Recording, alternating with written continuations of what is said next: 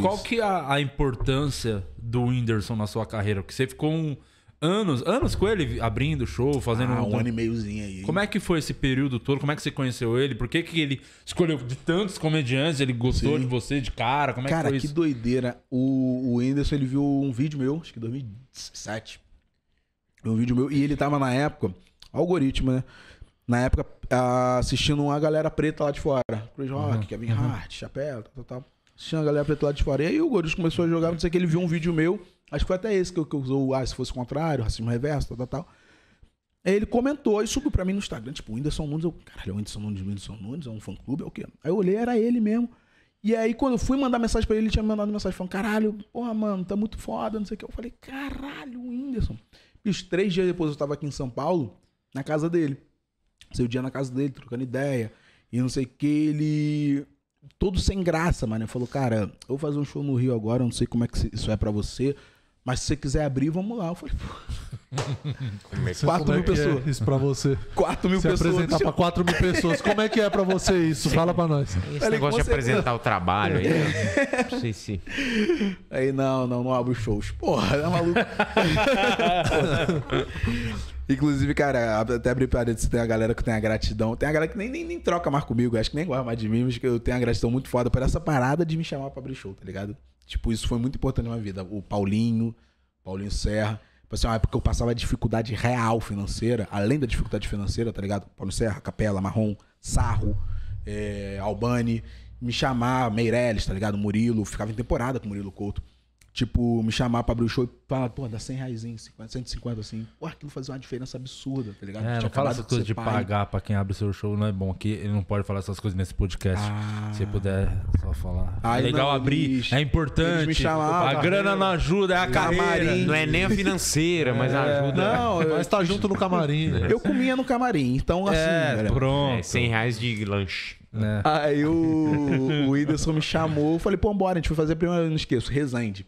Aí, avião dele, já fiquei tipo, caralho, pá, não sei o que, aí fiz Resende lá Eu com não ele. tenho medo de andar nessas porra. Então, cara, tem uma- umas duas histórias de vezes que a gente, real, quase morreu.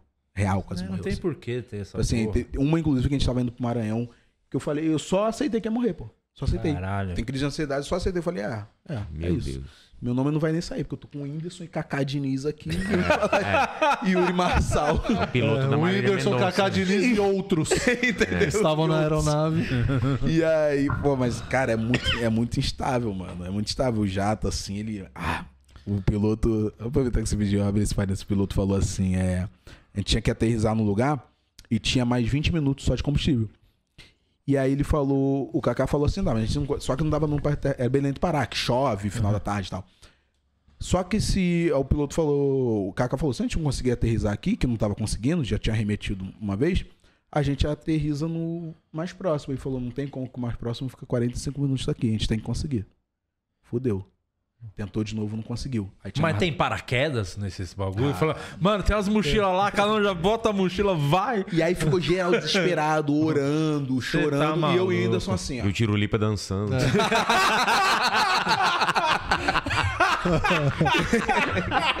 Tirulipa gravando um TikTok. Saiu com um anão do nada. Peidando na cara do piloto. Moleque, eu e o Whindersson assim, eu, eu acho que eu não tava entendendo o que tava acontecendo, tá ligado? Que eu fiquei tipo, caralho, eu vou morrer pra caralho, vou morrer, vou morrer, vai cair, eu vou morrer. É isso. Caralho, Vai bicho. cair, eu vou morrer. Mas aí é aquele drama pra, pra aterrissar, mas. É, então, tentou mais uma vez, não conseguiu, aí tinha só mais 10 minutos de voo, falou, ó, vou tentar mais uma. E seja o que Deus quiser, tá ligado? Meu Deus. Caralho, aí ele desceu, irmão, chovendo, assim, foi descendo. Quando ele pousou, que aterrizou, puta que pariu. É uma sensação, é a sensação real dela. Tipo, eu estava morto há três minutos atrás. É isso, quase isso, tá ali. Tava morto há A hora três que minutos bate a atrás. roda, já foi ufa. Ai, Isso caralho, aí eu tô tenho- vivo. Não é nem a hora que bate a roda no chão, é a hora que chega numa altura, você fala assim, se Isso. cair daqui, É, não tá morro tranquilo. Caiu o Eu não rolo. vou num bagulho desse nem a Não, muito melhor de van pra Bangu, 6 horas pra ir, seis Melhor, horas pra prefiro, voltar. é. Muito melhor. Não, é. E, cara, rodar com o completo. Edson me deu uma, tipo, uma rodagem de show muito foda, porque era isso, era show pra 4 mil pessoas. 9 mil pessoas. O especial dele que eu abri pra 22 mil pessoas em Fortaleza. Ginásio, né? Um ginásio, Estádio. uma loucura. Tinha, tinha show que, porra, Aracaju eu entrei vaiado pra 16 mil pessoas. Por que você entrou vaiado? Porque não era o Whindersson? É, não, porque, tipo assim, por exemplo, quando tu vai abrir o Thiago Ventura, ele chega, faz um offzinho. Aham. Caralho, ai, recebam agora, blá, blá, blá, blá, blá. A galera já sabe que vai ter uma abertura e tal. O Whindersson era só assim, ó, foco, puf, tocava uma música. Irmão, 16 mil pessoas no interior do Acre, que não sabe o que, que vai acontecer, não sabe nem como é o show do Whindersson. Música, é comédia, o que que ele vai fazer? 16 mil pessoas, estão lá te esperando. Você entra, aí, puf, galera, ah! aí entra um neguinho. Aí você fala assim, não, Aí não. não era isso que eu tava esperando Cadê aqui. o offzinho, né? Pelo Irmão, menos já teve umas gravado. duas, três vezes, tá ligado? Mais, mais, mais, mais, com certeza mais. Uma meia dúzia de vezes aí que ele, galera, o Whindersson, cadê você? Eu acabei de entrar. Eu vim Porra, aqui, aí só... Que delícia. Uh, não, não. E eu assim, ó.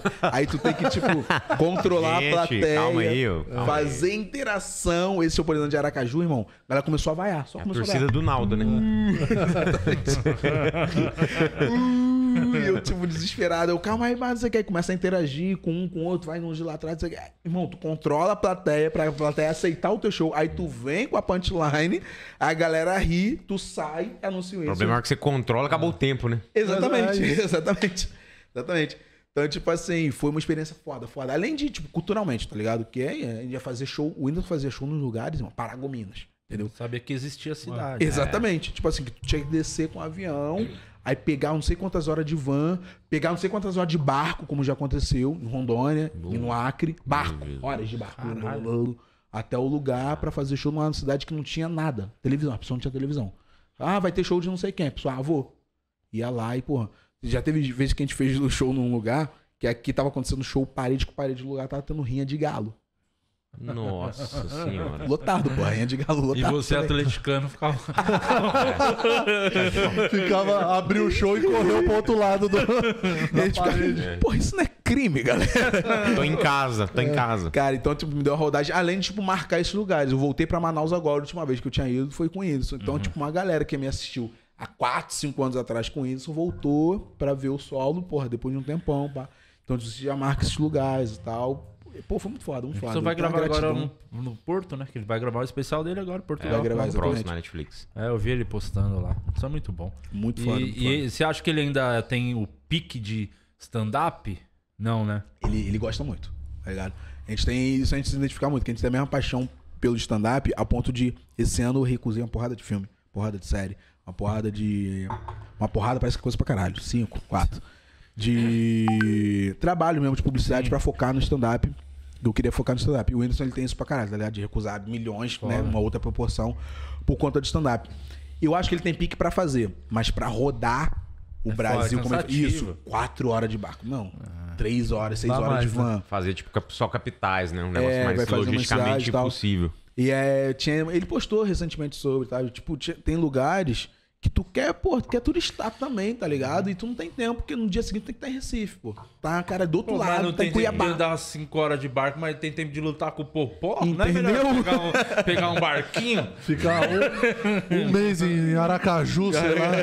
O barco não te rebenta a cara. Mas ele, pô, ele gosta muito, cara. Ele gosta muito de stand-up. Isso é muito foda, assim, tipo, ver a construção, acompanhar o- a construção do índice é muito do caralho. Ele ficou em temporada, acho que em Fortaleza. Sim, sim, sim. Fortaleza, ele é 25 shows em absurdo. 25 dias. né? É, ele faz coisas pra caralho. E teve um bagulho que eu fiz com ele também que eu nunca fiz com ninguém, que foi 11 shows, 11 sessões. 11 sessões. Irmão, pra. Tipo, eu que abria era extremamente cansativo. Eu ficava imaginando ele que fazia uma hora e pouco. Meu 11 Deus, sessões. 11 sessões. Num fim de semana, obviamente. Sim. 3, 3, Três 4. dias. Acho que foi isso. Caralho. Tá ligado? É, 3, 3, puxado. 4. Show 10 da manhã, pô. É inacreditável.